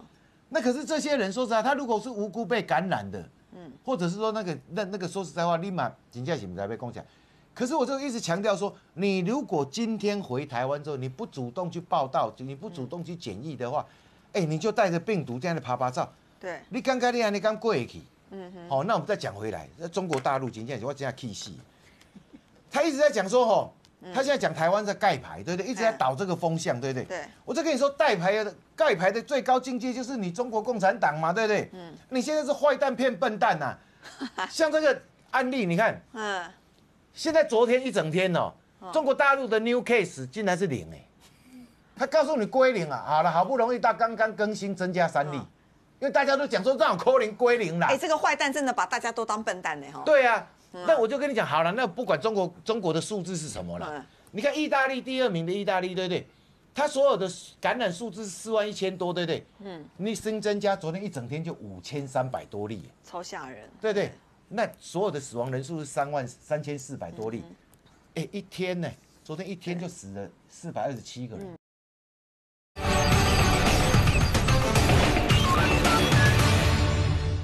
他所有的感染数字是四万一千多，对不对？嗯。你新增加昨天一整天就五千三百多例，超吓人。对对。那所有的死亡人数是三万三千四百多例，哎，一天呢？昨天一天就死了四百二十七个人，所以就跟你讲说，你看，刚才我不是看到那些给你们看棺材，还有昨昨天讲说那个画面里面有那个军车在运尸体的那个画面吗？对，我就告诉你说，哎，这样的数字，我今天就就看到这个数字，我今天就想说，嗯，哦，意大利竟然死的比中国大陆人还多。那中国大陆十四亿人口的话，那意大利的人口不是早就应该超过十亿了吗？对，啊对不对？啊为什么才六千一百多万？嗯，所以就跟你讲说，不要再骗了。那你你你这个，我常常讲说，为什么他在可以这样骗？嗯，他今天是要求说，谁可以来验，谁不可以来验？哎，不是你每个人都要都可以去验呢，他还要告诉你说，你也塞验，你符合身份的，就也塞来哦。嗯哼，啊验了之后，我再讲一个笑话了。以前就有一个恐怖分子说他被派去中国大陆要做恐攻，你知道吗？对，他去炸一个煤矿，嗯，啊炸了之后他就已经千方百计就潜逃回去那个恐怖组织的，对不对？那恐怖组织的老大就很很火大，就很想把他抓来杀了。他说：“我不是叫你去派你去恐攻吗？那你为什么到现在都没有媒体爆出来？怎么我怎么都没看到消息？”他说：“我明明就把那个煤矿炸了，嗯，啊为什么没有消息？啊就是因为后来才查了之后才知道说。”哎，中国大陆根本就不报道嘛，对不对？啊，所以你外界的人怎么知道会被报？其实我跟你讲，最近这几天哦，在中国大陆，你不是要复工吗？对。可是他没有办法复产，很多人就在讲，而且你知道吗？中国大陆，尤其是北方各省，河北、天津的话，这几天发明不明爆炸原因有十几起耶，对不对？工厂跟仓库都爆炸，为什么？很多人干脆就想说，你既然要强调我要复工，那我产不出能产能，那怎么办？嗯，我就干脆把你的设备全部炸掉。所以你要不要去查查看，这几天在中国大陆北方发生的十几起炸弹爆炸案件，那到底是怎么回事？所以我就跟你讲说，你们台湾人，我们台湾人不是你们台湾人，是我们台湾人。对，啊，不是，我是讲说你们这一些头脑不清楚的台湾人，拜托你好不好？你现在可不可以想一想，看清楚？现在中国大陆利用这些名嘴媒体跟这些五毛网军，还有一个红色代理人，在扰乱台湾的经济跟治安，你们还要让他们扯成吗？希望大家也能够当中那政府的眼线，把这些人全部都给揪出来。不过在这个请教光庭之前，我们来看一下哈，国外是这样讲的：如果你要想要变成这个。外国的这个情况，请便了哈。我们来看了哈，要去就去了哈。现在外国情况是怎么样？在美国，加州实施禁足令，四千万人受影响，通通待在家里，不能出去。加州州长说，接下来八周，他预估哦，光是加州就会有一半以上的人，高达五十六趴的人口染疫。然后呢，这个美国巴尔的摩的这个市长呢，现在已经到什么程度了？已经不知道该怎么办了，还呼吁罪犯们放下枪械，停止射杀，把病床留给确诊病患。我们这样放下屠刀，立地成佛。现在请他们放下枪支。留下病床有没有哈？然后呢，在美国哈，我们看到像 NBA 的球员现在传出哈确诊连环爆，很可能的一半以上都会染疫。NBA 球员，然后西班牙的西甲足球队。一队里面十五个人中标，这么身强力壮的都中标了。意大利更恐怖，刚刚学伟提到，一天增加五千多例的这个确诊，四百多人死亡，已经超越了账面上的中国的数字。伦巴底哈，现在第二个市长过世了哈，而且呢，他的特情况很特别，他在家隔离还加速恶化。然后刚才呢讲到这个棺材摆满太平街，还有军车运送尸体这样的一个情况哈，光晴你怎么看？这些人，其实意大利是个悲剧。人家说是二战以后他们所面对的一个最严峻的一个考验。哈，他们悲哀到什么地步呢？就是他们现在只能救年轻人。嗯哼，他们把医疗资源老的先放一边。对，他们现在只能救非老人。嗯所以意大利现在是一个这样的一个状况。那美国那时候是说，哎，NBA 怎么能停？我们美国人怎么可以少掉 NBA？对对。那可是 NBA 球员这么身强力壮嘛？嗯哼，反而是超级传播者呢。对啊，这个这个东西病病毒它不分你是 NBA 球员嘛？对，还是你你你贫富贵贱男女老少伤痕玛丽嘛？还是说你你是土耳其团嘛？他他就找上你就找上你哦。所以我现在用朗读的方式，把最近有一些人的担忧，说透过我希望传达的，就是福伦社年度的受赠典礼，嗯哼，里面分两派意见，有人都动辄上百人的哦，继续受证，而有些人是今天，好。才才决定说，那那就先缓一缓。嗯哼。但是还是有有一些人要受证。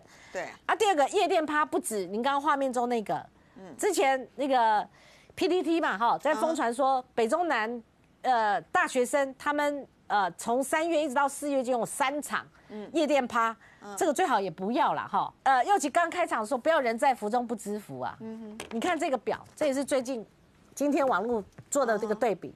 对。我们都知道美国什么都贵。对，但是你看我们台湾，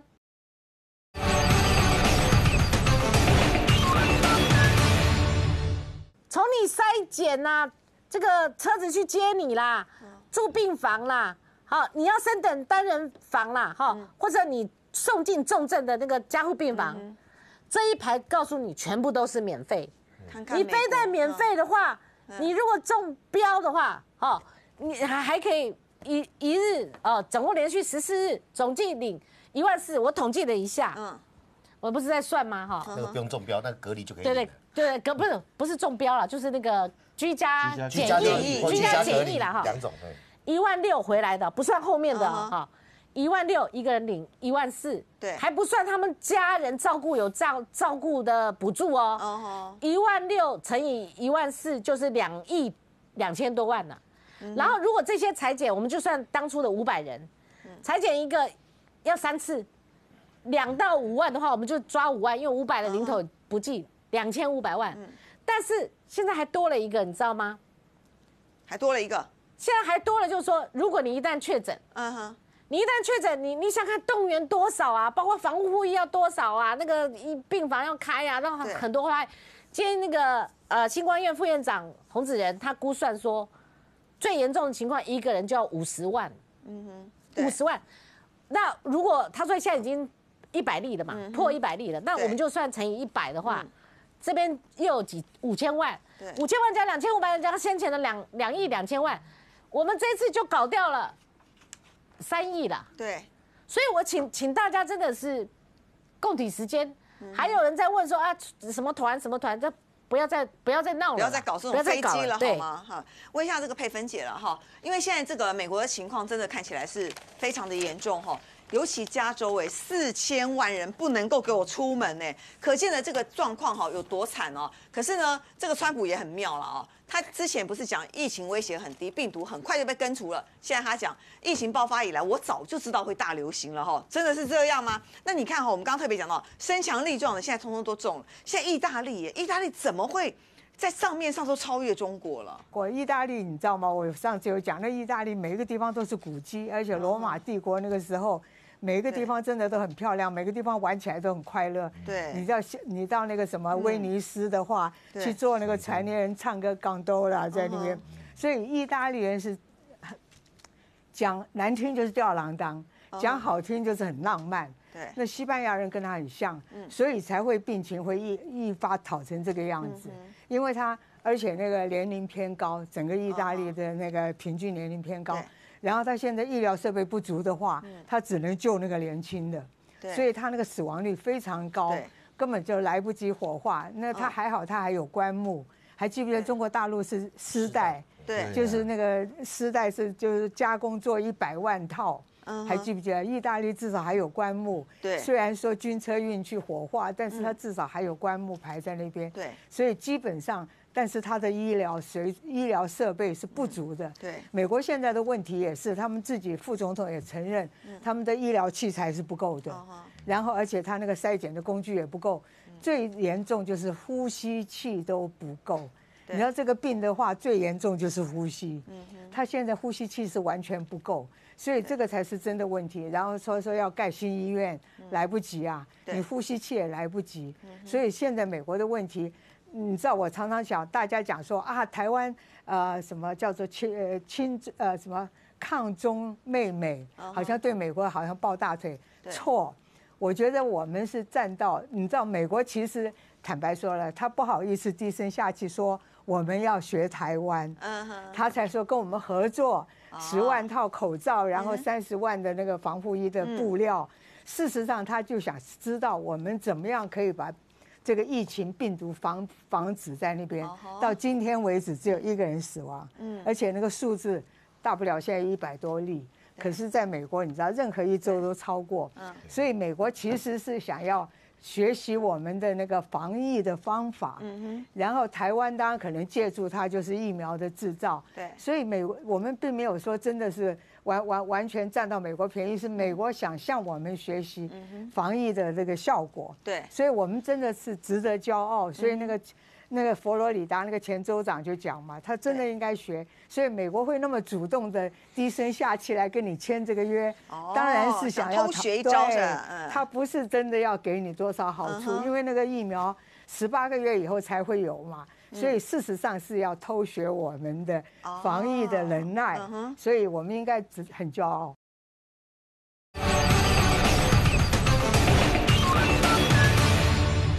那个疫苗。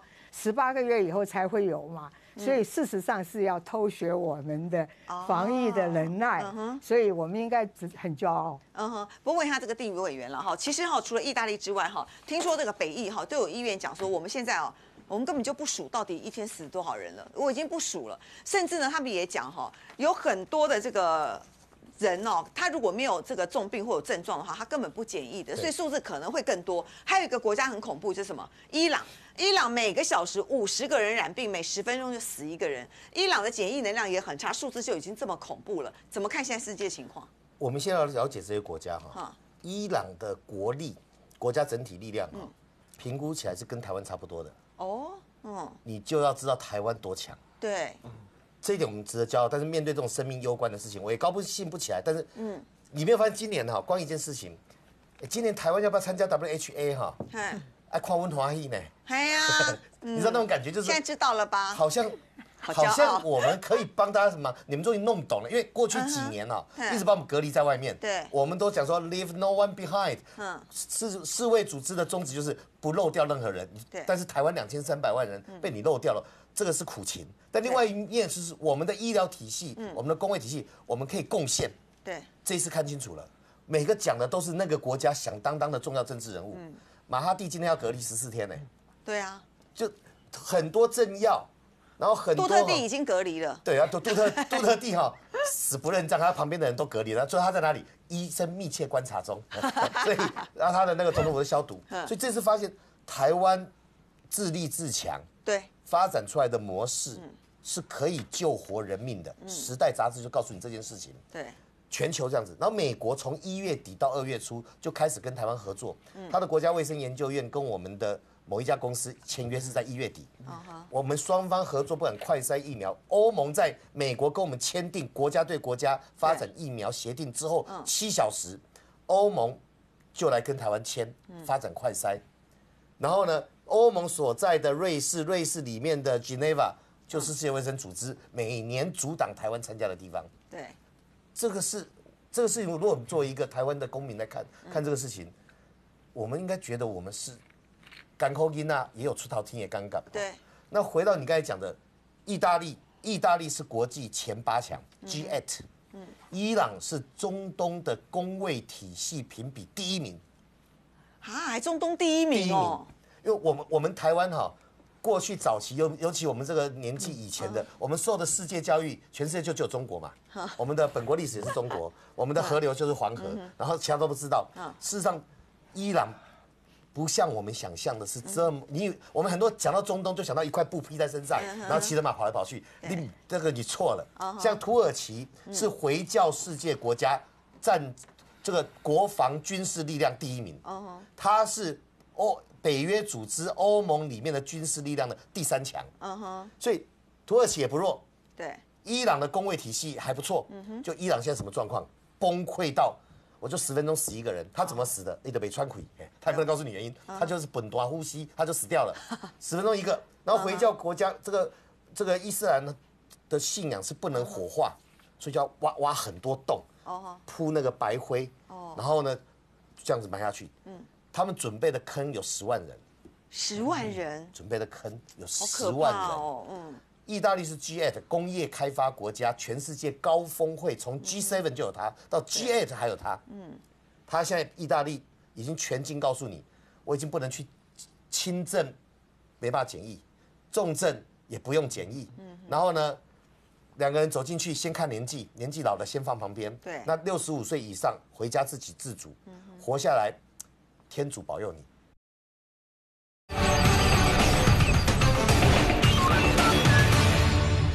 两个人走进去，先看年纪，年纪老的先放旁边。对。那六十五岁以上回家自己自足，活下来，天主保佑你；没有活下来，无法都，就变这个情形。对，所以在这样的状况下，你去对照中国，中国的十二亿人口，相较于意大利的六千万人口，嗯我们问几个关键问题：中国在一开始，民众有没有防疫的警觉意识？像台湾这样子，没有。没有，因为他国家骗他。对，他九月份知道就骗他，十一月份知道也骗他，十二月三十一号红头文件承认了，还在骗。对。一月一号只把那个什么海鲜水源市场洗一洗、清一清。嗯，到一月三号到一月七号，习近平或者是中国已经向美国承认有这个问题了，中国人还不知道。万家宴是在过年期间办的耶，一月二十几号哦对，钟南山一月二十号跟你讲会人传人。一月二十三号，武汉封城，还留了十个小时，五百人、五百万人不知道跑到哪里。我们到二十五号开始过年，他们还有万家宴，也就是中国一开始他民众也没有警觉心。对，意大利是最早的，那时候还把我们也列到里面。他最早实施禁管，他民众知道这个事情，可是天性浪漫，对他们的防疫的警觉心也不够。六千万人，工位的环境比中国好，对，人口少比较好管理，也比较先进，资讯也比较早揭露。而中国在这边通通都是输他。那你现在告诉我，意大利的死亡人数比他多，确诊人数比他少，嗯哼，这代表什么事情？代表你中共在骗人。对，你的确诊人数没有那么少，你的死亡人数也没有那么少。那写那个饶舌歌哈，嗯，根本是写给自己，谁盖牌？对，我在很早就说，我去看北京大学有一个叫做防治所的，里面一个副教授叫做什么单月的，我再查一下哈。他最早讲为什么奇怪，那时候有一个名称叫做爱国病毒，哎，武汉肺炎的病毒为什么只有武汉、湖北有，对，隔壁省份没有，但是日本、韩国有，嗯。意大利有。对，哦，好爱国、哦，他只害外国人，不害本国人，对。不合理。那时候这一个北京大学的学者讲了一个老实话，说，因为其他各省份没有接受中央命令，不得检疫，没有检疫就零病例嘛。对，那现在从习近平告诉你可防可控，然后大家开始说中国越来越好了，大家都没事了。对，中国对武汉以外的地方还有没有检疫？嗯，唱那首歌人去查一下，对。你都没有检疫，然后就要复工，然后复工之后把这些人都丢进去，交叉感染，反正拉下来死因哦都可以写其他原因，所以用我不用伊朗那种大量的，伊朗到最后估计搞不好是十万人左右的损失哦。对，英国的首相稍微知道自己的佛系防疫法，什么六成人染病哈，对。安利打的赫啊。后来人家一算，你如果用这个做法，不止没办法遏制传染，会死五十万人。英国。那么小的人口规模，那么进步，而且工位、个人卫生环境都比较好的，都要付出这样生命代价对。中国告诉你就几千人，今天零病例林俊林增林新增。啊，这个零哈，啊。会让大家吓得要死，那叫黑数。先问一下这个小平啦哈，哎、n b a 球星现在传出可能确诊的超过一半以上哦。可能性很高。我在你前两天节目讲那个讲讲到那个法国铁塔嘛，对不对？哈、嗯狗贝尔，那现在更厉害，都多人都得到。对啊这个他真倒霉，他今年三十三岁哈。哈，然后他上次打球哦受伤，坚持打总冠军赛，坚持要出来，哎，结果结果拐一下，阿基里斯腱断掉。那那个是等于是判死刑啊！你知道打篮球，篮球员第一个，对那第二个他又染到武汉肺炎，那我你知道这个是有后遗症哎。你再强壮的 NBA 的球员哦，你会有肺纤维化，你的呼吸量少十趴，你大概就不能打。你知道那个是对没错体能竞争的很激烈。对，我那那狗贝尔已经够厉害，只是防守是全世界最厉害。那这个多厉害，我跟你讲，这多认的。哎、如果一半以上确诊，NBA 还要打吗？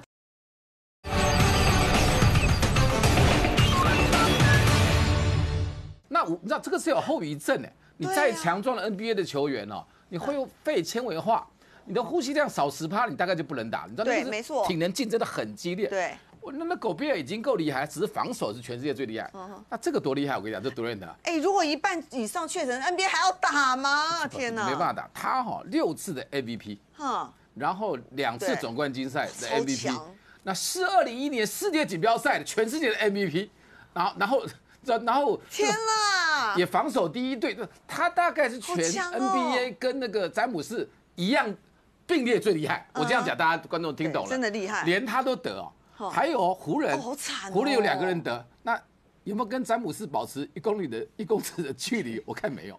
詹姆斯去查一下吧，我看到底怎样。所以全垮，那那日本还要办奥运，我真的无法想象日本他真是神经病。这个首相跟这个这个东京都知事，而且那 NBA 的摇钱树，哎，开玩笑，就根本无法想象的可怕啊！这是国外的情况，那国内哦，我们要谴责人民公敌，有两两种人，第一个还要开什么电音趴？学学严金彪，妈祖绕境都宗教都停了，你开什么电音趴还要还要 A 世界三大宗教盛事之一都停了。对，这第一个就我跟你讲，就就我觉得王定宇委员讲的有道理，就直接把他抓起来，这种人你还跟他讲什么道理，笑死人了。那那第二，地方人士有些里长啊，什么领长哈，对，还在纠团，拜托不要再纠团了。地方里长、领长还在纠团，纠团要干嘛？现在现在应该现在还在纠团。你你刚刚你的难讲哦，很难说，我跟你讲，很难说。原先就有三团都是国民党的里长团，现在不会了。那国民那国民党没在风声在传，那国民党呢？为什么都国民党？因为基层我们里长多嘛，所以民众率就高了。啊，这个也能成为借口啊。然后我就建议啊，这些纠团你就去哈，然后参找参加个早死团哈，先到武汉吃蝙蝠。哎，嗯，哦那再到土耳其的圣索菲亚教堂去看看啊，那边人多。第三啊，再到西班牙看斗牛，再飞到再飞到日本 去吃水果。不，这个不，你到底在干什么？这时候千万真的，如有可能有，如果是谣言的话，止于智者。那可是风声传的言之凿凿，因为啊，有有些有些里子，有些里长或地方人是纠团哦，一个人头哦。就一天就赚一个人头，就一个人呐，一次旅游赚三千块，那那十六个以上，他自己是领队，现在很多当时等于导游，他免费嘛，他还可以一天赚三千，然后如果去个三十几个，那就十万。哦那现在也很流，挺流行这个，所以地方人士哦，不要不要再去做做这样事情，那是那后果是不堪设想。参加这个找死团的，你就先看回来是要 土葬。也不要隔离十四天，还是要火葬，还是要树葬？当然火葬直直直接找万安生病去办一办，不要火葬，乱乱葬乱葬葬就好。对，哎，不行啊，万一有这个确诊的话还得了？不要不要再害我们国人，我们防疫漏洞实在是这个漏洞是很大的，对。的，到现在还在讲，太扯了啦！真的有，真的有在传，真的。好的，还没出发，现在有。你不要以为没有，台湾真的很多人。现在他们在等风声降，然后就要去了。因为现在台湾。